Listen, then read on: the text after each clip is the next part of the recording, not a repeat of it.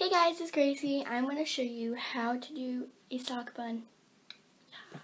Okay, so the first thing is, well, mine is made out of um, leg warmer.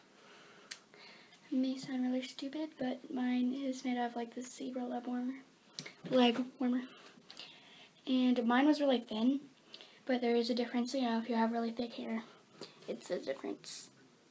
I have really thin hair, so yeah make sure you have no knots. And you're going to put your hair up where, wherever you want your sock bun. So like, say you wanted your sock bun right here, you'd put your ponytail right there.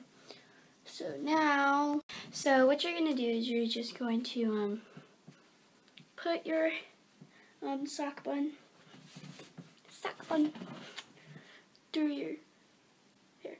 And you're going to drag it to the bottom and make sure you have um, or your hair through and you separate it into two pieces, okay?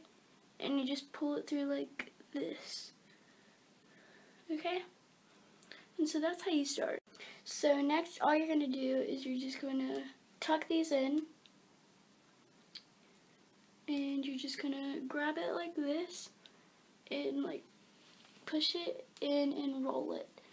And then you can like move to the top of your head and just keep rolling. And make sure you like shape your hair around it so you can't see the sock bun. Because you know I made mine, but you know you can always go to a store and buy one. So once you have that in, you pull it till it gets really tight and I'm just gonna finishing touch with my headband. And then here's another finishing touch that I used.